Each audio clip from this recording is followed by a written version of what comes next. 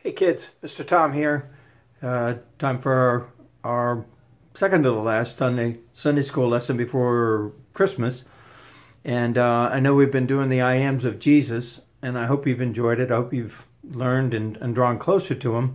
Uh, this time we're going to shift to a little bit of um, a Christmas theme, and um, I I think it's important that uh, we recognize a, a few things about the birth of Jesus and what a tremendous miracle it was and is, and um, and what it means to you and all. Um, to sum it all up, uh, to to get to the punchline at the very beginning, um, my my theme is um, we are to be like Mary. Um, Mary gave us such a great example, and so when I say Mary, I'm talking about Mary, the the the mother of Jesus, and um, but first of all, uh, let, let's say that uh, we've talked about um, the different I ams in the Gospel of John. We've moved backwards in the uh, Bible to the Gospel of Matthew. And Matthew's Gospel was written with a Jewish writer in mind. And so he's focused on, and he starts with a genealogy, and, and he goes through the list from Abraham uh, through David. And, and this is the lineage. And Jews are very big on lineage. They're very big on, on uh, being a, a, good scribe and recorders of history. And, uh, that proved to be just terrific uh, for all of us as we take advantage of that these days. Toward the end of the lineage in uh, Matthew 1, uh, Pastor Jeff read about it this week where it talks about the, line of David and all going through Joseph. And Joseph, when he was a teenager, I believe, um, he met and betrothed uh, Mary.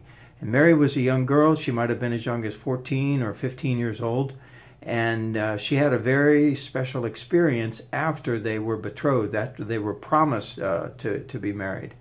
Um, Mary um, had a visit from an angel, and the angel told her that she would bear a child from the Holy Spirit, and the child would be the Son of God.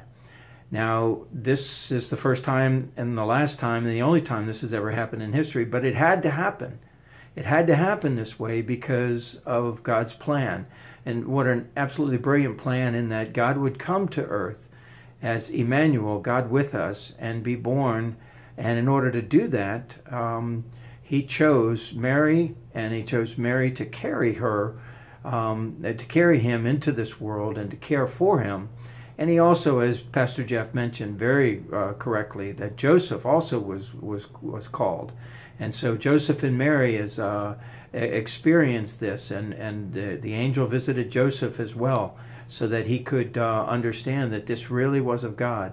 Now, the the thing that you know, it may have been the first time ever, but it was in the Old Testament that a virgin would conceive, and uh, around the same time, Caesar Augustus, who was in charge of Rome, uh, the Roman Empire, which ruled the world, also decreed that there would be a census and that everyone had to go to their home um, to um, to register for that, and that brought Joseph and his betrothed wife and their soon-to-be son all the way down to Bethlehem, and and so these things are head scratchers, but they really did happen, and God provided such grace for them, and that turned out to be. Uh, much of what they needed. The trip is about um, a nine-day trip, I believe. It's uh, uh, is, is what I read, and um, and it's fraught with danger. Anytime you were traveling during those times, it was very dangerous. And so here, Joseph is is traveling with his wife, and there's a cloud of suspicion all around them. Um, uh, and and so it was troubling times for them that they had to endure in order to uh, to to get to, to Bethlehem. But God made a way. He found a way, and and He provided everything they needed in in in the uh, the manger. So when we think about the Christmas story, we realize that um, God had to come in to the world this way because the Savior of the world, the Messiah, had to be the Son of God. And if it was Joseph Joseph's seed with Mary, then it would have been just like us, a sinner. And a sinner can't save another sinner. It takes God to save a sinner.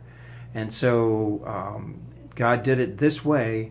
And the beginning and throughout our faith, it is all built on faith.